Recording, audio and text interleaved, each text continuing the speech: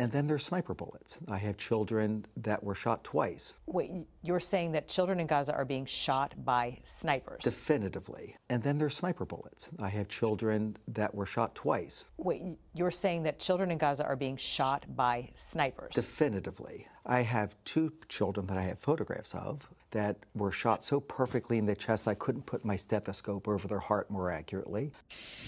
Bonjour mesdames et messieurs, bienvenue sur ma chaîne. Alors aujourd'hui une vidéo triste pour certains, joyeuse ou méritée pour d'autres. On va parler de tirs de roquettes en Israël qui a causé la mort d'enfants ou la mort de jeunes enfants. Avant de commencer, commentez, likez, partagez pour me soutenir et soutenir la chaîne. C'est parti pour la vidéo. Au sol, des vélos abandonnés rappellent l'âge des jeunes victimes. Selon les autorités israéliennes, au moins 12 personnes âgées de 10 à 20 ans ont été tuées dans une frappe sur le plateau du Golan samedi. 18 autres ont été blessés. Ce sont nos enfants, ce sont nos proches. Regardez le lieu de l'explosion. C'est un terrain de football. Ils étaient en train de jouer, ils ont entendu des sirènes et ont couru pour s'abriter. Ça leur a pris à peu près 15 secondes, mais ils n'ont jamais atteint l'abri parce que la roquette a explosé entre le terrain et l'abri.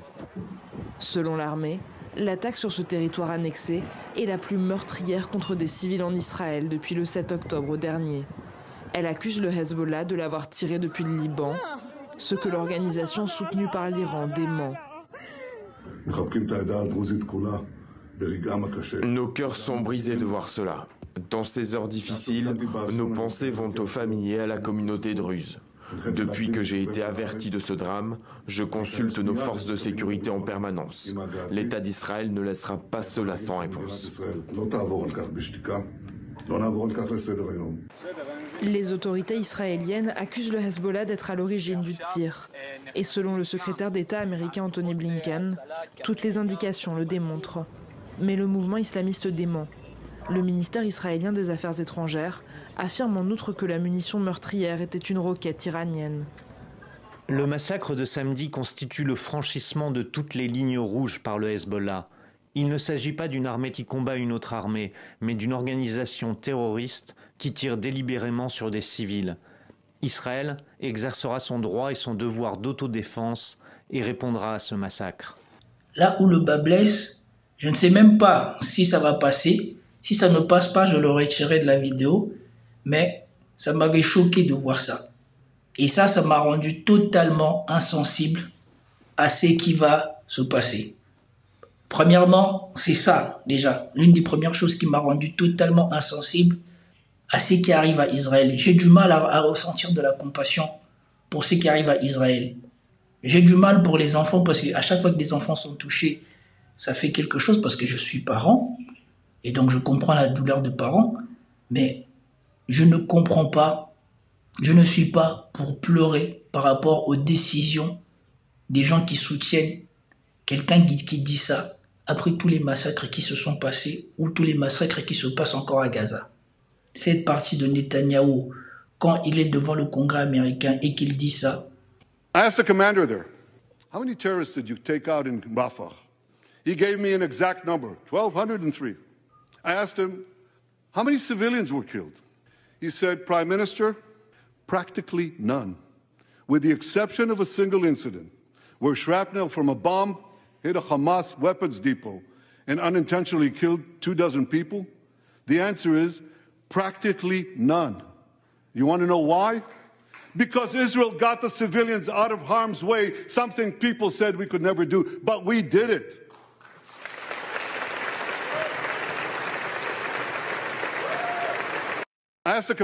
Voilà.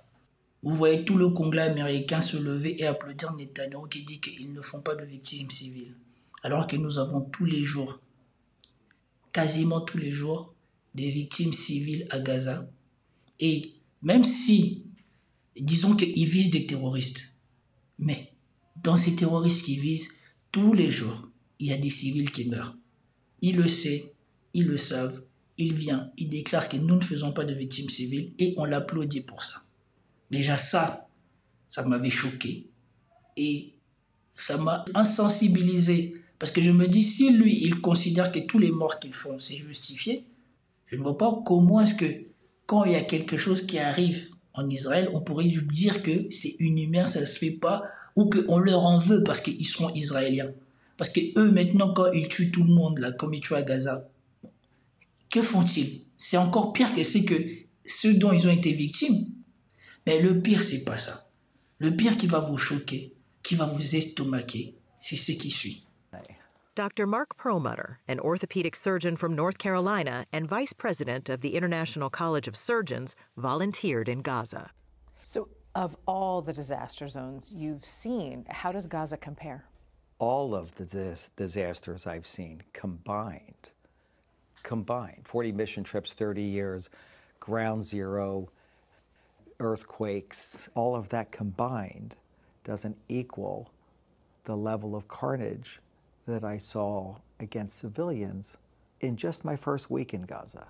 And when you say civilians, is it mostly children? Almost exclusively children. I've never seen that before.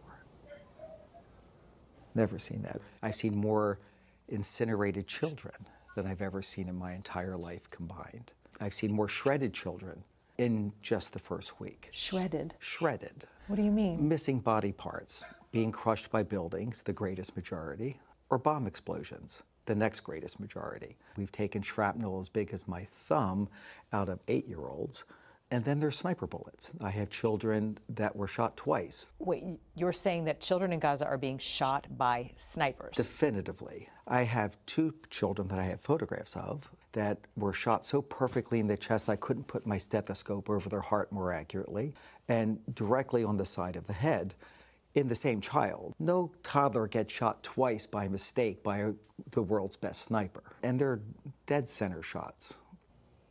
In fact, more than 20 doctors recently in Gaza also told Sunday morning about gunshot wounds to children. One American doctor told us he even reviewed CT scans to confirm what he saw because he, quote, didn't believe that this many children could be admitted to a single hospital with gunshot wounds to the head. Some shootings have been captured on video. Et vous avez vu la fin de la vidéo. À la fin de la vidéo, on assiste à l'exécution d'un enfant par un sniper. Un enfant allongé au sol qui est exécuté par un sniper. Et maintenant, vous avez l'information comme quoi il y aurait 10 enfants qui sont morts à la suite de tirs de roquettes dans un territoire en plus occupé par Israël. Que voulez-vous qu'on dise? Que voulez-vous qu'on passe? Comment voulez-vous qu'on manifeste de la compassion quand vous avez des militaires armés qui font ça? Et dans le communiqué de la vidéo ici, on peut lire le massacre de samedi constitue le franchissement de toutes les lignes rouges par le Hezbollah. Il ne s'agit pas d'une armée qui combat une autre armée, mais d'une organisation terroriste qui tire délibérément sur des civils. Israël exercera son droit et devoir d'autodéfense et répondra, et répondra à ce massacre. Israël fera ce qu'il veut, mais quand vous avez Israël qui fait ce qu'il fait dans cette vidéo-là, là, qui exécute un enfant à terre, quand vous avez des snipers israéliens qui font ça, les gens qui voient ça, comment voulez-vous qu'ils aient un tant soit peu de compassion pour Israël? Et vous voyez ce que j'avais prédit dans ma vidéo. J'avais dit le fait que les outils aient peut-être réussi à atteindre Israël, j'espère que ce ne sera pas le commencement de l'arrivée de la guerre sur le territoire israélien.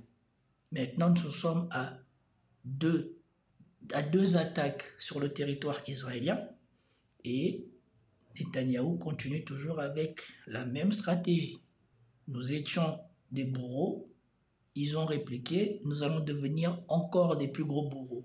Sauf que on était face au Hamas, maintenant on va devenir quasiment face à tout le monde parce que maintenant on envisage de riposter contre le Hezbollah et on précise bien que dans les tirs de roquettes, c'était des roquettes iraniennes.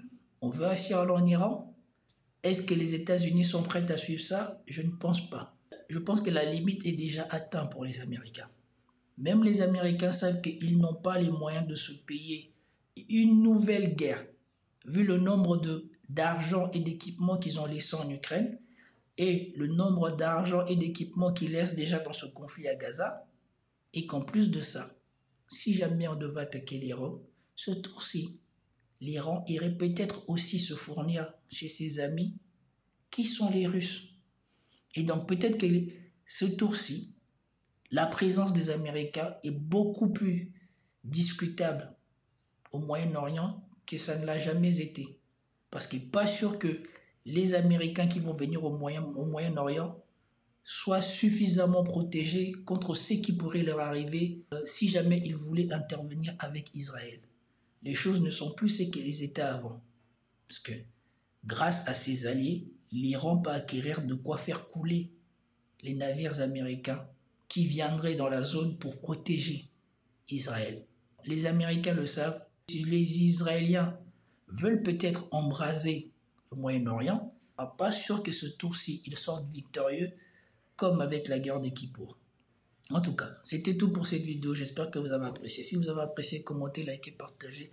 Je vous dis à plus. Peace out.